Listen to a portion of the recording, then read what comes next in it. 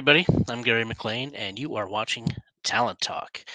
Thanks for tuning in. I do appreciate it. I do want to throw out the reminder that uh, if you can, please go to the Talent Talk YouTube channel and subscribe to the channel today. As always, your uh, support is highly appreciated. And also a reminder that this is a live and interactive show. So if you have any questions, comments, just want to say hi, throw it into the comments section and we will do what we can to kind of address it as the show goes on. Now, today's guest, he's a country singer, actor, director, born here in Calgary, but now resides in Vancouver. We won't hold that against him. Um, his music has led him to touring with Shania Twain and multiple Canadian uh, Country Music Award nominations. And on the film side, uh, he's directed multiple music videos, which have also garnered him multiple CCMA Awards uh, nominations.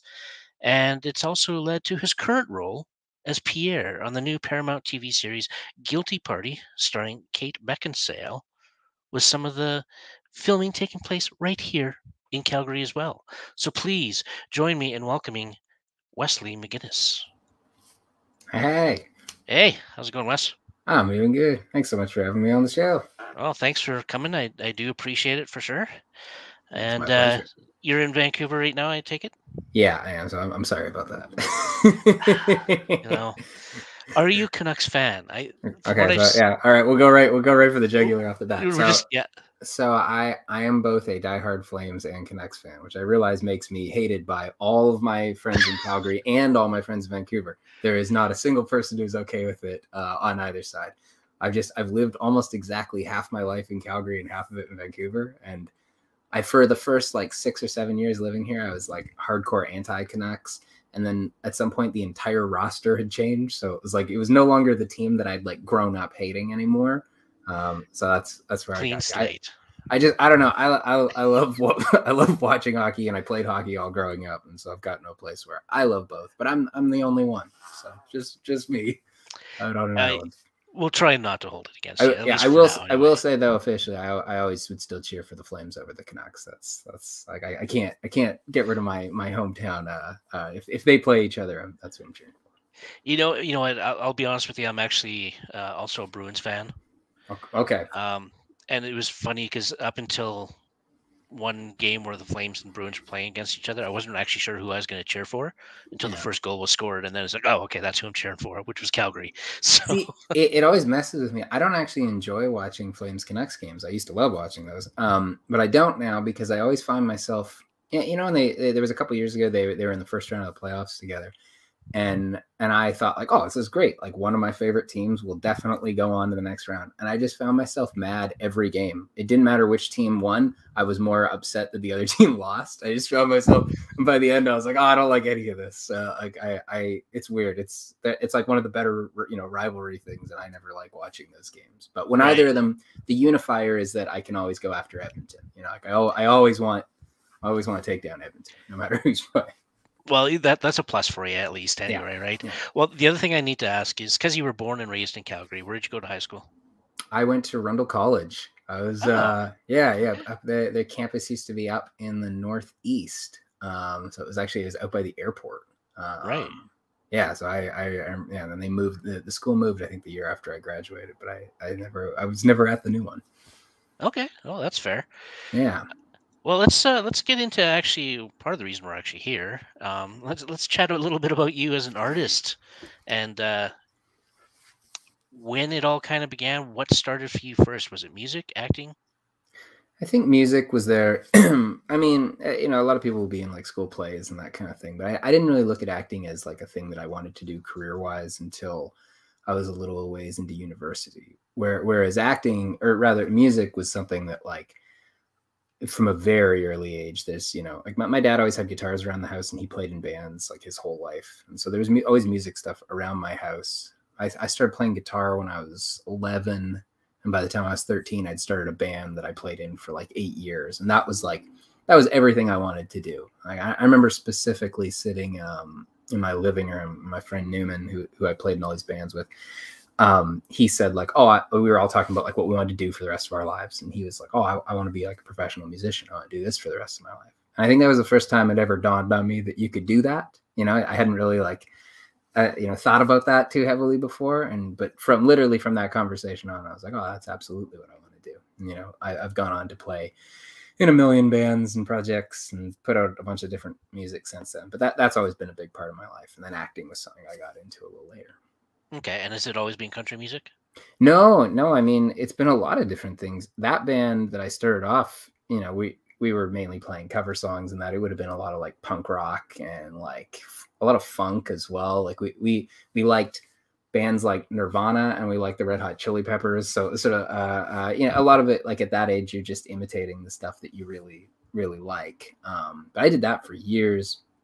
Only when that band ended um, did I sort of start my like solo project. Um, and that was when I, I started making country music. And honestly, it was, it was weird because that, that was I wasn't living in Calgary at that point. Um, I say that because like Calgary is kind of synonymous with country music a lot of the time, which wasn't my thing in high school. Like that wasn't what like I gravitated towards at all. But then when I moved to Vancouver and like I felt like I was all of a sudden out of it, uh, I kind of creeped back in. You know, there was there was a guy that I went to university with who was always playing like Willie Nelson songs on our on our floor, and I just remember like going and listening to that with him. And a big turning point I remember I had is I went to the uh, the Calgary Stampede, and on the Coke stage I saw Dierks Bentley play back in like 2008 or something like that, and it was like he put on a show that took a ton of the stuff that I love from rock music as well as like the stuff that I liked about country music, and he had it in one place. And that was, I think, the first time I really saw it all like kind of come together like that. And that was like that was the the big catalyst for me. I was just like, because you know, with within, I, I love all kinds of music, and within any genre, I think there's stuff that I love and stuff that I don't like. You know, that would be true of rock, of pop, of country. There's things that I dig and like stuff less so. Um, I think that was just all of a sudden me seeing a lane in country music where I'm like, oh, cool. I, I can go there. Well, even when it does come to country music, I think it's developed so much over, you know, within the last 15 years, really, or yeah. even a little bit before that, where it's not all twang, right? Which is, I think, what a lot of people relate to when they think country music. Mm-hmm. It, has got that, you know, other elements, whether it be a little bit, even a hip hop or, or dance. Yeah, or, I mean, you, right? you so can. all, yeah, was, you, you, can find all kinds of that in there. You, you can find elements of, of hip hop in it. You can find elements of rock in it. You can find elements of pop in it. Um, and some of that I like, and some of that I don't. And, I, and, and on a case by case basis, you know, like I, I don't like to just definitively say like, oh, I don't like that kind of country. It's like there's certain artists that come along every year that I all of a sudden hear a track and go, oh, that's that's interesting. Like I don't tend to select music by genre. I tend to go more by I actually kind of love that a lot of playlists now are more mood based of being like, cool, do you want like uplifting music or do you want like you know d- like sad music or, or something? And because you could fill that up with stuff from different genres and to me that's more um that's how, more how i think about it as like as an artist because I, I, know you can through production tricks in the final phase of something that cool we're going to add some banjo and dobro to this and you're going to make it feel like a country song. Or you could say we're going to add some like heavy distorted guitars and it's going to feel like a rock song or we're going to add trap hats to it and it's going to feel like like a hip hop song. It, it, there are certain like little things you can do at the end of production of a song and and drift it in a bunch of different you know places. Um to me it's more about like I, I kind of go in for what the song is in the first place, and and you know th- then I guess at the end you have to make some decisions on those things. Right, and you you you were of course saying that your dad was also a musician in, mm-hmm. bands and so what was like did you take any influences from what your dad was doing as well and kind of in, integrate that into some of your stuff or? I mean a lot of it would have been through what both he and my mom like listened to a lot when i was growing up. Like i specifically remember the first songs that i ever like listened to and like the first cassette tapes that i had were I had the Beatles, I had the Beach Boys, and I had Hank Williams Sr. And I remember specifically having those three tapes and just like constantly listening to them. And then I think I also had like the Batman Forever soundtrack, which is like a totally other ballgame. Uh, but but that stuff ends up really mattering because if you when you're a kid, you you're such a sponge, you know, and there's still things from those those specific cassette tapes where I'm like, oh, I know I still like when you're picking apart your songwriting, you kind of have a certain DNA, a certain footprint at some point. It's like when you listen to a Beatles song, you can tell if McCartney or Lennon wrote a line almost always because they have a certain like drift to them. Um, there are certain things like that in my own writing that I'm like, oh, I can hear probably where that came from, like what band that came from. So so some of the biggest influence probably was just my parents had like you know whatever collection of tapes and and vinyl and, and and that kind of stuff that they would have listened to at the time that you know would have been a big part of what I was listening to. And then and then yeah, I mean my my dad played in this like super cool. He was in a band in the late '60s called the Sugar and Spice, and to me they're like the quintessential like cool 60s late 60s rock band there was like this i think it's like a seven piece band with like three girl singers and the, and the rest of the guys. And they you know they had like a bus that had flowers on the side of it. And like it it, it just it looks like what the the dream version of that kind of looks like you know just that that era the way it's been kind of romanticized after the fact. It looked like whenever i see pictures of it i'm like oh my god you got to be there for that. So i find right. that tremendously cool. And and when did you kind of rate your first song? I guess I wrote my first song when I was 11 years old, and it was called Rush. And it was three chords, and there was no lyrics to it at the time. And then my my friend Newman, uh, the bass player, he added some lyrics to it later when we started a band when we were 13. I remember that specifically. It was just like I feel like most people remember the first song they ever wrote. Yeah. Like it, you know, it was literally. I remember I couldn't play bar chords yet, so I was just it was just one finger lying across the neck, playing a very improper like, I don't know, it'd be I guess a like a fourth or something. It was not a nice chord, and just in three spots. Um, but I was very, I was pretty stoked about it. You know, it was a song. It was it was mine. You know, and and from there you just. I feel like it's important to dive in and do that. I always tell most people when they're trying to get into anything, but songwriting is a good example. You just like you have to suck at it for for a good while. There's like no way to be good at something without sucking at it for a while. And that can be sometimes if you let it can be a really enjoyable phase. Like me and me and my buddy New often talk about playing in that band that we grew up playing in and how it's some of our favorite music memories. And we've gone on to have like like he came on the Shania tour with me, and he's had like a number one rock song on his own, and like you know they, we've done some stuff afterwards that are like these bigger career things. But there was something untainted about like this early band and that there were no stakes there was no commercial success we weren't that great we were playing in garages and house parties and the occasional bar that would let us play there underage um, and you were learning it all on the go. Um, so I, I, think there's something if you let that phase be fun, you know, uh, it's it's a ton of fun when there when there's zero stakes on it, you know, and you're just you're doing it because you love it. Yeah, absolutely. And so speaking of, of Shania, when did how did that meeting come about to begin with? And uh, was that before or, or after your first album? So that was just before my first album came out. So my first album I mean, it's, it's funny because I'll say like my first album when as always like it, it's the way it kind of goes when you put out your first major label album that becomes your debut and it's funny because i was in 2015 but like i'd been playing in bands for like you know a decade with like tons of material coming out before that but that was like you know i guess the official big start point. So it, it that was also the year of the shania tour. Um and honestly your, your guess is as good as mine as to how that properly materialized. I li- i got a phone call. I, I assume there was some background politicking that went into that, but like it was it, the strangest thing, and the reason I highlight this is usually in the music industry, someone will always want to take credit for something good happening. Like if something like that happens, you'll always have someone be like, "Well, I orchestrated that." No one ever told me that. I, I just got a phone call from my manager who said that they'd got a phone call saying that Shania wanted me to open uh, all the Canadian dates and a couple of the U.S. dates on her farewell tour. And oh, wow. would I be available in June of 2015? And I was like, yes. Um, and I, I asked specifically a number of people in my team about it. Like, do you know how this was orchestrated? And I, I either got no, I have no idea, or I got one very coy answer from the then Universal Music president, just saying, like, it's all about having a good team, Wes. And I was like, what does that mean, man? like, did you do this? Um, I, I mean, maybe he did, but um, yeah. So I, I don't know. I, I was just I was grateful to be there. And then she brought us back for the second leg of the tour, which meant a lot to me because I always felt it was kind of validating that we didn't screw things up too badly on the first leg. That it was like, oh, cool. This is months later. You have you you're choosing a new opening act, and you have selected me again. Like, thank you.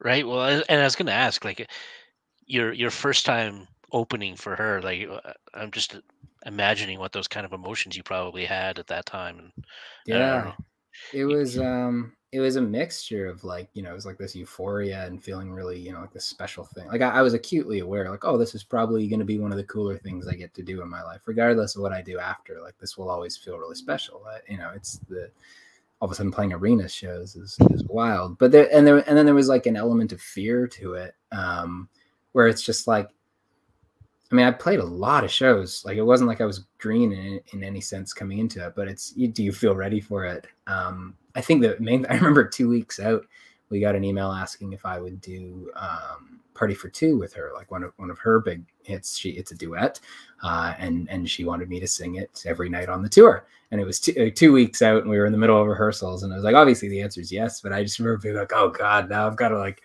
I okay, I just can't mess this up. Um, and I we rehearsed it once in, on the day of. I showed up in Seattle, and I remember we like got there and I was standing side stage about to go up for the rehearsal and all these like pyrotechnics were going off and I remember grabbing one of her like stage hands and just being like, "Hey, is there like a schematic like that I can see for like where I shouldn't stand for like the fire vents cuz like you can get burned very badly."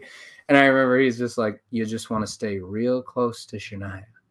And I was just like, "Oh my god!" So, so I went up there in the rehearsal, and I was probably just like, staying like right beside her. And then went, and then I realized um, there were no pyrotechnics in our particular number. Oh. So the guy the guy was messing with me for sure. Um, which you know, good on That's him. Awesome. Um, yeah, yeah, it, it, it, honestly though, after I think it took about two or three shows into the tour, and then it switched from being scary to just being like the most fun I've ever had because you, you feel so supported. You know, she's great. The song is great. Her band is great the road crew is great. The crowd is a sold out arena. It sort of is like in in all those ways you're as supported as you can be to just go up there and like be an artist and have fun, which is what we did. Right. Yeah. Well, and we kind of we kind of jumped into the whole Shania thing, which probably makes kind of sound like you you had this instant success, but that's not the case right? True. I played a lot of bars with zero people in them. I've actually certifiably played to zero people. We there was one show that we were on a on a tour. I was playing bass in my friend's band, and we played. It was crazy. We we played in Calgary the night before at like the Palomino, and it was sold out. Like the it was like ram packed.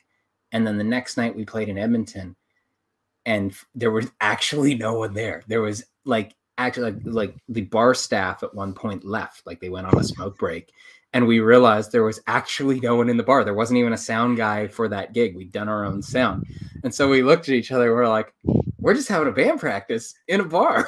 Right and yeah. so like it, you know but no no lies it because it wasn't like that entire tour run was was that bad. That was like sort of the, the only show that that happened. We we honestly had had a big laugh about it. And then eventually one of our friends showed up, and so they were the only person there. And so we all got down on the floor and like played like a full on rock show to one person. Uh, and then I think we went and drank a lot after the show and just tried to forget that it happened. So I mean, you know, I I've everything between that and the Shania tour I I have done. You know, like I've, I've played many different configurations to different numbers of people. And, and, how long were you actually touring with her? It was just for the. We did.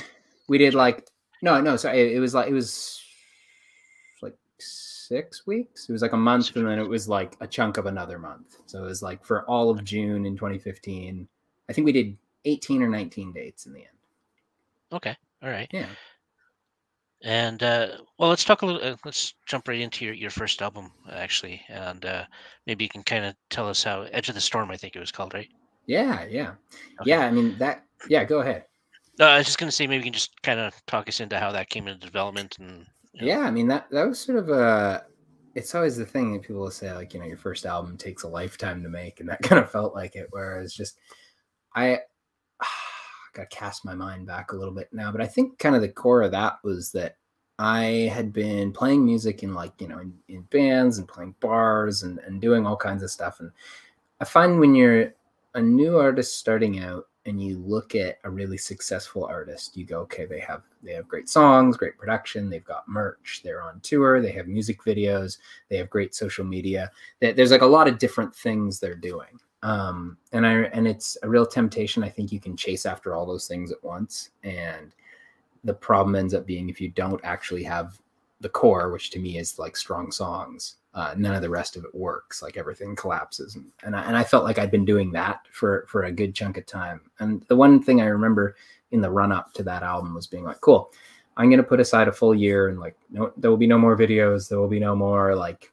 trying to play. Like it, we're, we're just going to do songwriting. And i'd never taken songwriting as seriously as that. And that was when i started co-writing. That would have been like 2012 um, and so i just I, I started writing with a ton of different people. And just focusing on songs. And I, and I met a guy named Jeff Johnson. Um, and we ended up, the first song we ever wrote together was a song called Duet. And that was the, an interesting turning point in my like career and life. And that like we wrote this song, we recorded a demo of it, and all of a sudden a lot of doors just felt like they were opening.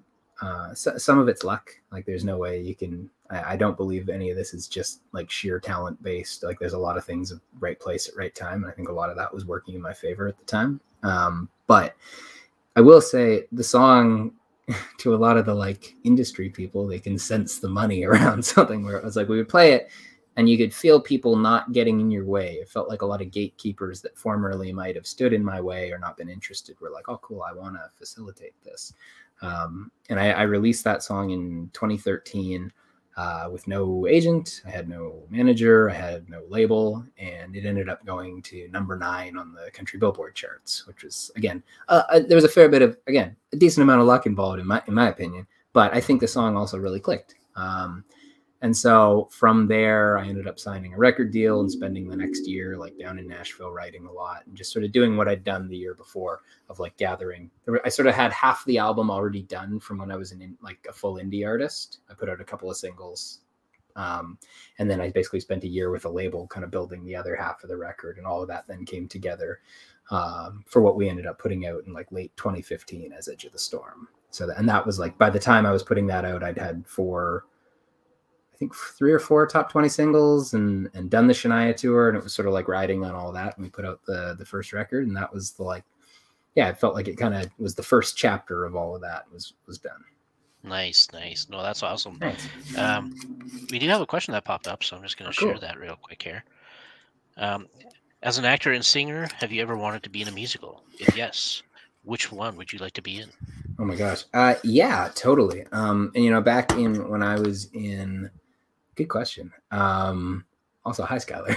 Um, yeah, back when I was in university, I did I did a musical at that point in time. I did a show called Gentlemen Prefer Blondes, um, which is you know it was wild and wacky. And I think when I was younger, I did a couple of musicals in in, in school, and I, I, always really enjoyed that stuff. And like I I, I remember, um, yeah, I'm just trying to think if there was one that I would love to be in more than any other. Because yeah, I, I, would totally be interested in that. It definitely is like it's a skill set in and of itself that like you don't want to be the the the weak link in that because some of those people are are you know everybody in those is a triple threat of like you know they can sing, they can act, they can dance. Um, I'm trying to think if there's one musical above any other. There's a show called Dear Evan Hansen that's that's pretty rad. Um, that would be really fun to be a part of. I mean, honestly, I, uh, I don't have a good answer on like what show it would probably be, but I would absolutely be interested in doing it. You know, I, I think I miss a lot of the times, you know, I, I'd done a couple of plays through university and a little bit after it. And I've ended up not doing a ton of that in the last like many years since um, because there's such a huge commitment you have to put in in the rehearsal process and during the run of a show and the trick for me often becomes then if I'm auditioning for other things for film or doing anything music wise, if any of those things come up, I then am in a tough position where it's like, oh, do I take this opportunity uh, at the and and have to drop out of the show and kind of mess with the people that I'm working with? And the reason I highlight that is that happened back in like 2009 to me.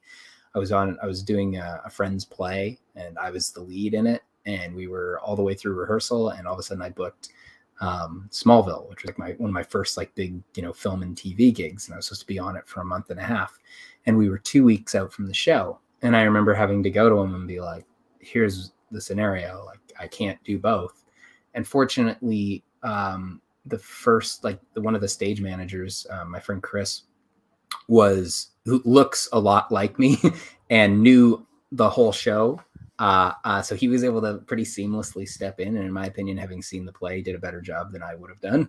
Um, and so I didn't feel like tremendously bad, but I still felt guilty about it because I, I had to, you know, these are people that are my friends, and I, I didn't want to, you know, take all this rehearsal time and throw it out the window.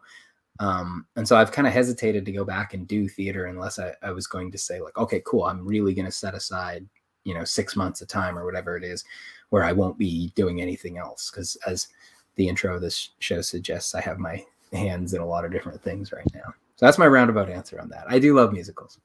Oh, that's fair. And it kind of ties into the, the next point, I guess. So you, you do acting, but you also do directing.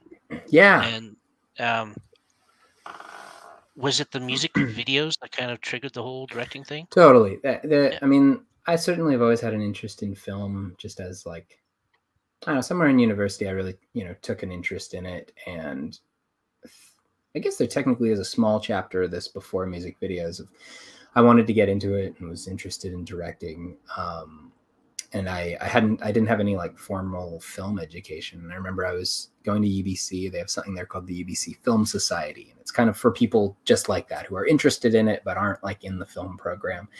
And they would take script submissions every year. You could submit uh, short films, and they'd take a bunch of scripts from a bunch of people, and they'd pick two of them, and they'd make them. And so, out of all the submissions one year, they chose mine. Um, and so I got to direct that, and it was this huge learning curve of, um, you know, coming up with the storyboard and shot listing thing, and and and I ended up, you know, editing it, and in the end, scoring like a music, like an orchestral piece for it after the fact. I became way over involved. I, I'd also just recently seen Apocalypse Now, so it's edited in a ridiculous way with a lot of like fades and long long cuts and like just I, I took a movie that should have been 20 minutes and made it 40 minutes um, which is funny for me to look at now. But I mean, one of the things I did, so I did that, and then I just because I wanted to get better, it was a very DIY approach. I remember I, I found out the UBC, they're, they're like the fourth year, the final year of film. I went and bought, or yeah, I think I bought, yeah, their their their textbook like for fourth year film, and I just read it cover to cover, and I and I got like a fairly inexpensive uh, camera and just started filming stuff, and then like within half a year of that um, a good friend of mine uh, knew uh, was was looking to have a music video for for his like first solo project. And i was like well i can direct that. Like you know he, he asked me if i could do it. He, he'd seen some of the like sort of amateur art filmy stuff i was doing. And he's like oh i think you, you can do this. Like, okay cool so I, I, think we had a, a budget of $800 and we spent like months on this thing, like shooting all these like crazy sequences. I remember we filmed in the in the garage basement of my building this like knife fight sequence in the middle of the night, and like with actual knives. Like it was very, it was, it was. I I think we like taped them up and stuff, but there's things about it now that I'm like, good lord, dude, what were you doing?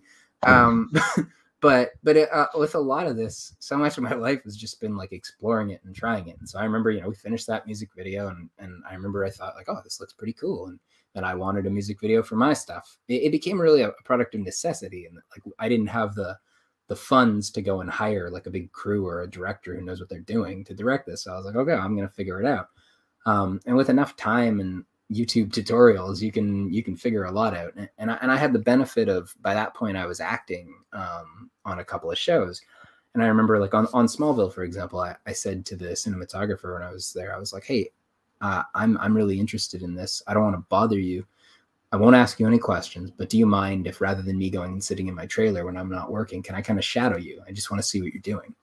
Um, and he was super cool about it. And as everyone has always been, anytime I've asked that, to just be like, yeah, sure, like, and feel free to ask questions.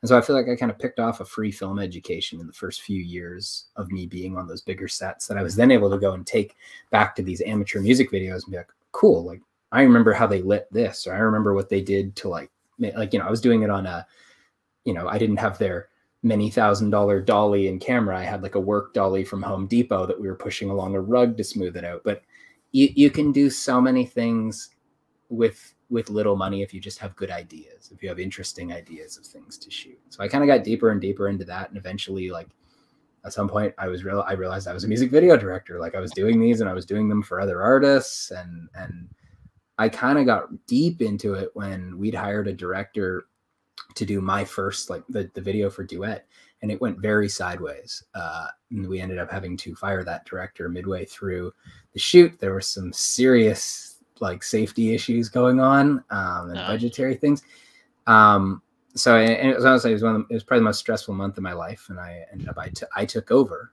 and I a bunch of the crew agreed to come back for this like half day of shooting with me, and we shot we shot the the video for this, and it seemed like it was this disaster where it was like I, I, almost had to go and tell CMT who was funding the video, like, hey, sorry guys, like all the money's gone and we don't have a music video for you guys. Uh, but weirdly, we we got we got through it, and I directed it and edited it and color corrected it and closed captioned it because there was no money left to, to, to hire any of this out. And I remember turning it over to CMT and the song went up the charts. And I remember sitting next year at the Country Music Awards and it was up for video of the year and I was up for director of the year for it. And I remember just being like, oh God, if they only knew what a disaster this song was. but that was that was the point where I kind of shifted gears because all of a sudden that was me directing with like a big crew.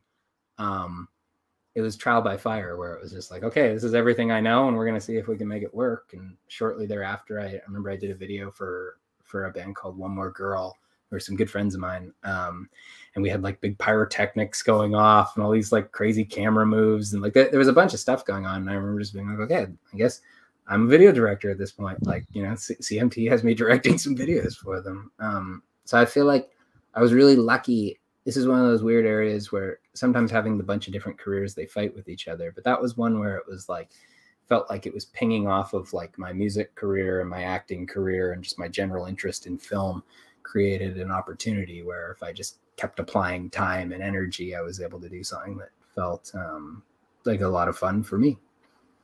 And so for the, the song uh, listen to me um, mm. Was that was that a video you also directed? Yeah, that's probably my favorite video that I've directed. It's like one of them. Yeah. Okay, because um, I do actually have that on cue here to. Oh, cool. kind of play. I, I, thought it was cool, especially because I, I, was making the assumption that you did direct it. Mm-hmm. Um, but what I so what I liked about all of it is it's you know it kind of tells a story of you know your your development as a musician. Yeah. It shows some of your acting skills. It shows your directing skills. It's all encompassing. I find this the song and video combined. I feel like I um, kind of end up still using it as my calling card of like, hey, if you just want to know everything about me in about three and a half minutes, like here's the closest you're gonna get. Um, and it was more of an editing piece almost than a. Some of it's directorial because we shot a bunch of stuff. As you, you know, it's it's a lot of footage from like my childhood and that. So it, it became this archival thing where it was just going through tons of hours of like old family footage and being like, oh, cool, this is how that'll work. And and it, it it's interesting because it's this balance of footage that means a lot to me versus stuff that tells a story and is accessible to someone watching it. Because sometimes you watch something, you go, "Oh, cool, that was that trip we took," but like the footage is so grainy and messed up that you can't really see what's going on. So it was this, it was a bit of a balancing act there. But I was, I, it was really, it was really cool. I, I think I called my parents and a few of my old friends like a million times during it because I would watch a piece with them in it and be like, "Do you remember when this happened?" Um, right. Yeah. So it, it was a uh, yeah. It's it's my favorite. so I mean, if you're you're okay with it, I'll yeah totally I'll throw it up there and uh, folks watching can have a look at it and see everything Wes. Yeah.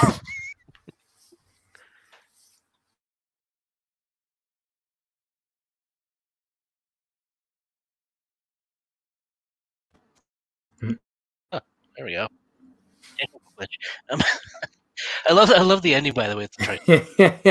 Thanks. I, I remember trying to figure out a way to sneak that in there somewhere.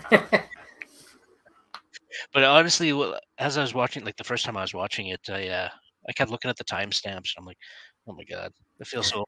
yeah, that's what I was thinking. Uh, anytime you, I remember at the time being like, "Do I include the timestamps?" I was like, "Yeah, it's just the, however old the anyone was when it happened is what, what it was." Right. Uh, absolutely. Yeah.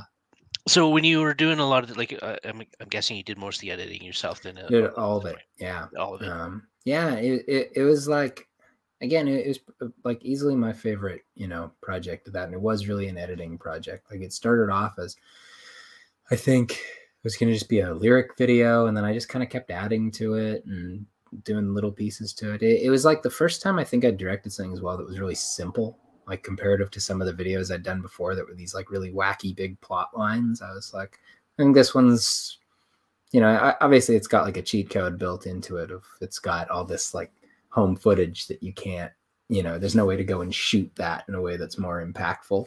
Um, but yeah, so I was just trying to like take a whole lifetime and present like um, you know a little telling of my life and music and a little bit else. Yeah, and just out of curiosity, were you up for any uh, CCMA awards for that one, or? I think so. I think that went up for. I think I was up for Director of the Year for that, if I'm remembering okay. right. And do you remember uh, your first nomination in general? Yeah, yeah. You know, weirdly, I guess I I think I won my first. Like I've I've got one. C- I was I was I was doing it right the other night, and I was like, oh, can't you see? Like I've got all my nominations up on this wall here. I just keep them all.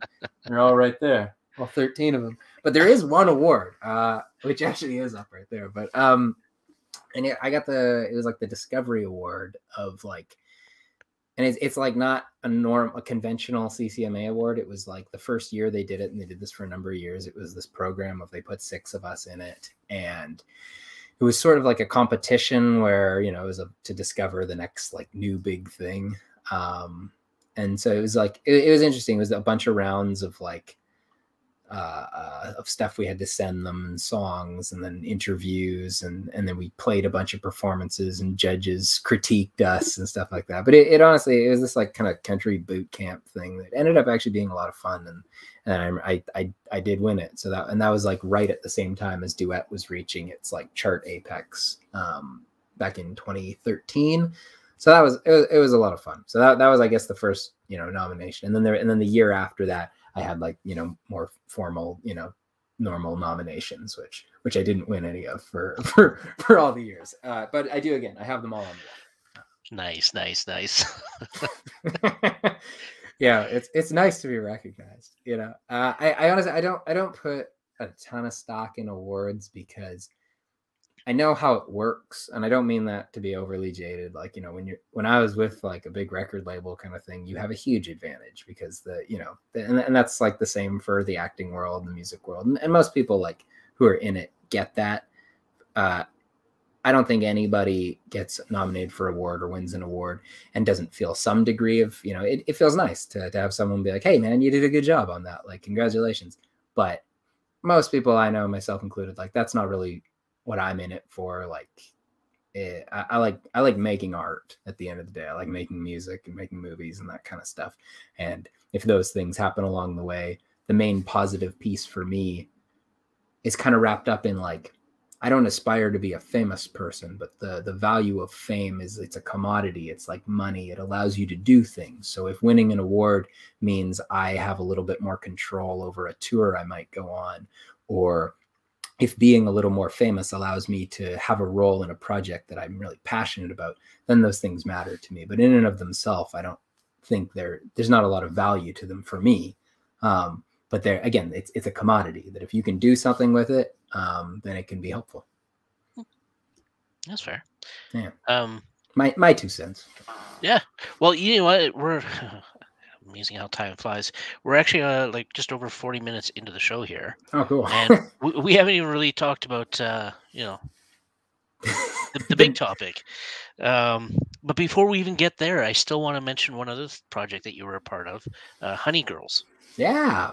Uh, yeah. which, yeah, if you don't mind, maybe you can you can chat a little bit about that and and your role within that and uh, how that came kind of came about. Yeah, I got to play a guy who would have like a lot of plaques on the walls. I got to play the, the greatest writer producer in the world, Calvin Maxine. Um, yeah, no, that that was just like a super fun piece where it was this like I kind of thought of that whole thing of like, oh, what what the message of this movie is like what would I want to tell my teenage self or even child self pursuing music kind of thing because it's very like uplifting in that sense and like telling you to follow your dreams and be yourself. And and I, I say that not in an ironic way because it, it, just like it, it's kind of like earnest in those things. Uh, so to me, I, I, got to play like a music mentor in that, which is I, I kind of chuckle at because like I don't think at any point in time you ever feel like you really know what you're doing. Like most of the people that I know and really aspire or no, really look up to still will be like, oh, I'm just you know doing the best I can. Like no no one ever like comes up and gives you a piece of paper that's like you understand the music industry now. Um, so it was cool to pretend for for a day there to walk in and and, and you know work with Ashanti and and actually it was, it was neat. We got to film one of the days in a studio where I actually recorded a bunch of the stuff that was on Edge of the Storm. So it was a neat little throwback to my own life. It was yeah, it was a fun project. And where like where is this I think because it was released in October, I think, right? Yeah. And where where can folks kind of check it out? I don't think it's streaming. I think you have to either buy it on the like the iTunes store or it's like on on DVD. I mean, I I think it, like Build a Bear is is behind it. Uh, it like which again I I didn't know they made movies prior to that, but I believe they're probably selling it in their stores. Um, so but but yeah, you can you can definitely find it on like the iTunes store. Seemed like the most the, the, the easiest one. Well, it's because you know when my kids were younger, we used to get them Build a Bears all the time. So uh, it's good to know that all that money is going somewhere. yeah, I, I once uh, uh, um, one of my like a, a fan, um, her name's Jillian, uh, uh, who's been wonderful to me over the years. She she showed up at a show in Edmonton, her and her sister, and they had made a Build a Bear of me and they they nice. gave it to me during the show like on stage and it was like it was a red haired build a bear that was hold like they'd modeled it after one of my like uh, uh, album covers, and so it looked exactly like it, me. And that it, it kind of blew my mind because it was just it was all of a sudden holding a bear version of myself. Right? No, that's awesome. Actually, yeah, yeah. that was neat. um, well, and actually going back to the music itself, where, where can folks actually listen? I, I, know some of it's on Spotify because I was yeah some of it out there. Yeah, I mean, I, um, I, think basically everything that I've released commercially is is on Apple Music, Spotify, Amazon, like sort of all the all the streamers, you'd be able to find all my songs. Okay, awesome. Now, your new project, um, which by the way, I will say that I, I, actually had a few auditions for this show, and oh wow, lucky enough to get in there. Ah. But uh, I am glad that a, a, Calgary local did. So yeah, man, I was stoked about that. Oh, I I was like the most like you know, people were like like, oh, it's shooting in Calgary. It's gonna be really cold in the winter, and, and and I was just like, I get to go to Calgary. This is awesome. So I like, I got to have pizza from my favorite place, and like, which is Spiro's, by the way, is my oh. favorite oh. restaurant in the city. Little Shout plug for Spiro's. There we go. Yeah, heck yeah. Um, um, you know, I got to walk down and go to like Prince's Island Park every day. That was like my go-to, and I was just like, it was like super cold. Um, but I would go down there just like bundled up and sit by the river, uh, just because it, you know, it's a place I love when I when I lived there. Um, but yeah, man, working on Guilty Party was a ton of fun. It, it, was probably one of my favorite projects I've ever worked on. And I think most of that just comes down to the people, you know, like it was a really good group of folks. Um, the scripts were great too. Like that, that's, that's always a good sign when you get to crack that open. I remember we did the, we did the table reads for it as, um, as like a zoom table read, which I'd never done before. And it was kind of neat because you get to see everyone at home before you've gotten your like costume and your set haircut and you've showed up and it was just sort of like everybody you know coming from wherever they're coming from in the world. Um but i just remember laughing a ton through it, it uh and actually the like it's this weird mixture. Like it, it's a show that i've struggled in interviews and just repeatedly like do a bad job of explaining because it's because i think it's complicated in a good way and that it's like a mixture of of of drama and comedy. It's this it's a dramedy it's a dark comedy and it's this really like heartfelt story at the same time. But I think it was done really well um, with the group of folks they brought together, and like the on-set experience for it was was a blast. It was so collaborative, and they were so cool with improvisation and just like trying different things and there were no bad ideas and to me as an actor that's the most fun environment to be in because then you can try stuff you know because i've worked on shows where you, you try something and immediately a script supervisor comes and says like that's not the line. Say it the way it's, uh, supposed to be on the page. And you'd be like okay cool. Like you, you, and I, I am not going to fight that. Like you know whatever the show whatever the is the vision of the, the people making it you kind of got to roll with that. But when you do get get a bit of a license to be like cool we've done it that way. Now let's try it this way. Maybe we'll find something even better. Um, that to me is where you make the coolest stuff yeah, no, I, I definitely agree with that. And so, according to uh, Deadline.com, you're you're playing the role of Pierre, which yeah. is uh, uh, kind of a co-worker of Kate Beckinsale's character. Mm-hmm. And uh, maybe you can. I'm assuming this was a, uh, a self-tape demo that you uh, submitted yeah. for this. Yeah. Yeah, actually, I remember specifically. I, I, I so I sent it. I was told that I had the role, and then I got an email like couple weeks later being like, all right, you got a callback for that role tonight, like a Zoom callback. And I was like, wait, I thought I had the role. Um, and they're like, oh, I guess they changed their mind. Like the, the network would like to see like a Zoom callback. And I hadn't done that. And I, and I remember just like, I find that so nerve wracking, not from an acting perspective, but from a tech perspective of trying to connect with someone who there might be a bit of a delay. Um, you know, your eye line might not be exactly what you want. You're trying to to light it. And I remember I was I was there at like it was supposed to be at 7 a.m. the next morning, and it was like 11 at night, and I was like just working away trying to like set things up and, and get it all good. And I was stressing, and and my agent called me, and she's like, "Change of plan. They they they're not. They don't need a, a callback. They, you've got the role."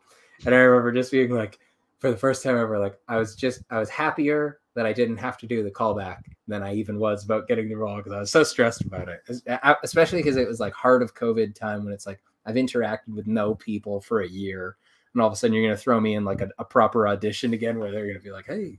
Tell us about you. Like, do you have any weird things about yourself that'll make us not want to ever see you again? Like, I don't know what I'll say. Um, it's, it's totally true though, because I actually had that experience as well, where I got a call back for for Zoom, and uh, yeah, like, especially again, it was not that long ago, maybe three months ago. Yeah. And again, like you said, I hadn't done an in-person interview since pre-COVID. Yeah. So to be in front of the camera, and you know, of course, you've the way technology is, you got one person flashing up, then another, and totally. Like, uh... when I've heard, I've heard horror stories where it's like sometimes people have done auditions and there's no reader visible; it's just a black screen, and they're watching you, and you're reading to no one, but there's a reader on their end and I'd asked even for this one, I was like, oh, can I like provide my own reader? And they'd said like, no, it's going to be our reader. So I was just like stressing. I, I, I got off the phone with my agent. And I just like immediately cracked a beer and just like drank the whole thing. I was like, oh, thank God, I don't have to do that. Um, totally. Yeah. I was just, I, I find that stuff, and I'm like a, a fairly tech savvy guy. Like I, I do video, like that's that's my thing. But I still don't like it when, especially when you're in an acting situation. You, you just don't have the the support where it's like if there's a problem i hate the idea that i'm going to be sitting there trying to fix it while being watched you know? It's like oh there's a problem with your microphone or something like that. Oh, sorry. Yeah. Please don't judge me. Please don't uncast me. Uh, right. Yeah so totally. yeah so that was again like a, a self tape for that which was which was very nice. Yeah. No it's definitely an interesting experience. Um yeah. I, I don't know about you but uh you know i'm okay with them just doing it straight off demos. Oh, totally. I, I, I much prefer that where it's like, if, if you want, like, I'd rather send that and then you can send me some notes or something. Like, if, if you know, if you're really considering someone for it, um, like that's what I would want to do if I was directing it to just be like, cool, send me whatever you want. I'll send you some notes. And, and like, I don't know. I, I just think as well, you, you get like, I can shoot it on like a, a proper camera, you know, and like have the lighting and the sound all be like processed properly. Like when I send in an audition, like a self tape, uh, I process the sound afterwards and I color correct it. Like that's me because I'm a psychopath and I'm a director. But I, am just like, oh, it's pretty easy to do. I've just created a couple of like pre-existing LUTs that I'll like throw on top of it and be like, great. Now this looks the way I want it to, and I can process the sound so it's actually compressed and sounds like a movie. Um, these things take five minutes for me to do, but I just think it makes the watching experience feel closer to what you'll actually get. I mean, I also like for the thing I love about doing self tapes during COVID is props. Um, I love to to use weird props. Like I, I, for the audition for this, I had a bunch. I, I remember I was eating like a bowl of raisins or like a thing full of raisins, and I just I felt it was like character appropriate. It was at a morning meeting, and I was like, he's the kind of guy. And weirdly, when I got to set, props was like, we think Pierre's the kind of guy who's like eating all the time. And I was like, okay, well, we're on the same page. And so I actually used the same, like, it was the exact same raisins that I'm that I'm eating in the actual thing. The reason I like that, this seems like a mundane detail, but I like that when you use the kind of props that'll actually be there on the day, that it feels like a, a real place. Like you, like you right now are wearing a, a head, a, like a headset, and I've got this on. I'm sitting on a couch. Like there's something real about the environment here that that's just part of life. Um, and and so when you actually go to like shoot the scene, you're gonna have if it's a scene with a cop, you know, you might have a gun, you might have a knife, you might have a backpack or something like that. I like bringing that stuff into the audition because then it's you're giving them exactly what they're gonna get um, on the day of, and that can sometimes feel weird on a in-person audition to be like, hey, I brought in like two bags of chips and uh, also a cowboy hat. it feels it feels easier to just do that at home, and you know, I, I've had no complaints on it so far. Yeah, yeah, and you know, I I've had a similar situation where yeah, the, you know, that's the thing you, you do when you're as an actor, right? And you're trying to develop these things for your auditions. You have to have that characterization of who they are, right? So yeah. I had the similar situation where I'm supposed to be this janitor eating his lunch Well, Sure. I, was, I was sitting there, I was eating my peanut butter sandwich, and Yeah. sure, my words were a little bit muffled in a way, But but that's what it should be, right? I, I always find it strange if you audition and you're this and you're just like a just a floating head here, and the scene is you're at a desk working on a computer. I Yeah. find that weird because it's like that's not what the thing is anymore. Part of the activity is like you know if I'm on my phone here talking to you, we're having it's, it's just it reads a little bit differently. Yeah. Um, and so I don't. know. It's not that I think you want to lean on props as like a crutch um, and hide behind them, but if it helps with the characterization, it's the same as costumes, where it's like you know I- find a lot of times when you work on a show, Pierre was very much the case. You find a lot of character in the wardrobe fitting. Like when I showed up, you you actually then get to see a little bit of what the director's thoughts are trickling down through like the person they've hired to do wardrobe, what they've pulled for you. You put those clothes on, and all of a sudden, it, it's part of that like collaborative thing. So I find when you can get the jump on that in the audition and already have, you know, the look and the body of it, it's um, it just makes it feel closer because good acting, in my opinion, you don't feel like you're acting. You know, it's just like when you're actually there on set and you're just having a conversation. You know, it's myself and Kate, and the other couple of folks in in Pop Bite on, on Guilty Party.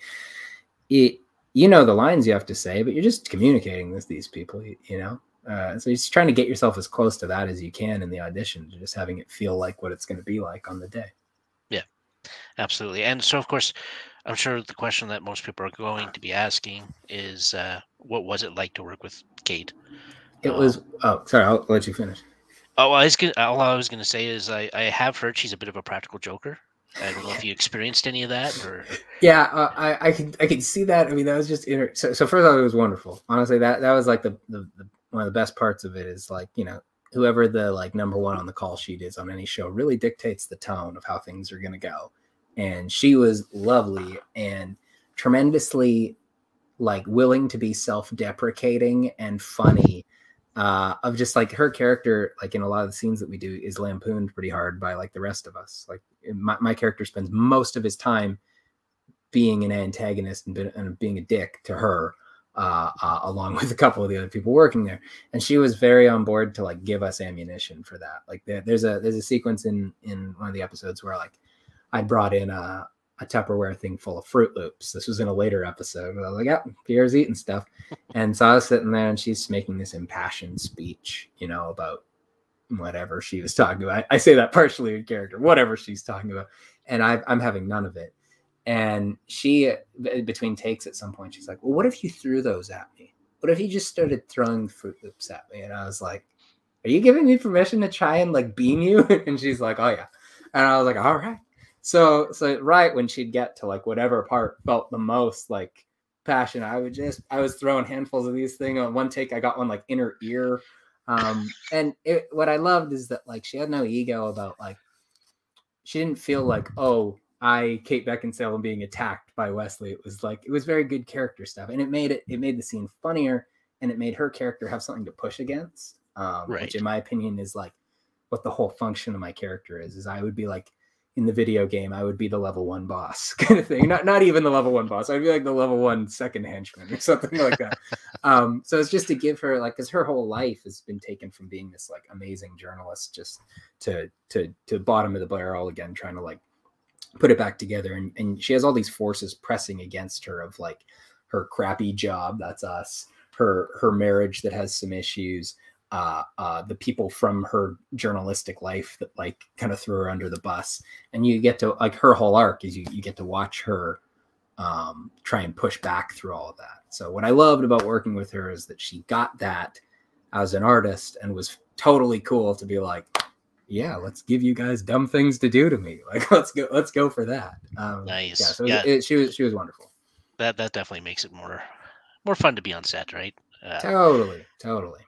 Yeah, Uh, because that's not always the case. That's not always how things. I, I can think of many times when I would not have someone suggest to me, like, "Do you want to throw Fruit Loops at my head?" I can think of many times where that would have probably gotten me fired. right? Yes, exactly. yeah. Um, you know what? We've been here for an hour. As Oh, crazy as that may sound. Time Um. So it does fly, and, and uh, but before we, I, I do let you go. Um, aside from the Fruit Loop scenario, did you have a fra- favorite moment on set? And it doesn't have to be with Kate, just on set. Man, I mean, just any of the time we got to be in there. Um, actually, there was, there was one thing that was kind of funny. This is just one of those like happy accidents of, again, brought a prop. I had a ball, and I was I was throwing it up in the air and catching it, and I had some line where I say something like like isn't that the dick cutter? It's some like really like it's it's in right in the script, and it's this like kind of ridiculous line, and it ended up being I threw the ball and it bounced off a wall and came back and hit me in the face as I as I said the line. And like people just cracked up. Like so like the number of lighting guys were like did you like try and do that? Did you plan it? Because it was like a pretty tight shot on me. So if it had hit me anywhere else you wouldn't have seen it but it like went off two walls and hit me in the face and I yeah that that to me is like one of those things where it's just like cool just keep trying different stuff and takes and sometimes the acting gods shall conspire in your favor so I like that because it was a bit of luck and, and did they keep that take? Um, I haven't watched that episode yet, so I, ah. I, I just figured out how to watch this in Canada because for a period of time there was, I think Paramount Plus you couldn't see it in Canada, but I've discovered if you have Apple TV Plus, you can get Paramount Plus through it, and it's there. So okay. I it took it took me a while to to to source that out. Uh, so I have I have some guilty party catch up to to do myself. And thanks for kind of answering that because that's going to be my next question: is how are people watching this? I think so. I think in Canada that's your. I think in the states you can just watch it on Paramount Plus. Um, but here I believe I could be wrong about this unless they've resolved it, but it wasn't on the just like pure Paramount Plus. But there is like a branch within Apple TV Plus where you can get it on Paramount Plus. So uh, uh, for anyone who's already got Apple TV, that, then I think it's pretty easy to grab. Perfect. Uh, well, thanks for joining us. Uh, as you guys can see, what's scrolling down below. If you want to check out anything else Wes related, uh, his Twitter's on there, IG website. Go check him out. Uh, check out his music on Spotify, and uh, keep an eye open if you can uh, for for Guilty Party because that that looks like a fun one, and I'm hoping to come back for a second season. Yeah, yeah. Well, hopefully we'll have you on it, man. That would, we, that would we, could, we could reconvene this thing. I, am hoping there's a second season in, in existence. You know, right? Absolutely yeah. That'd be awesome. So thanks for joining us wes and uh, uh, we'll we'll be back next week i think. So awesome. everybody have a great night. Thanks for having me on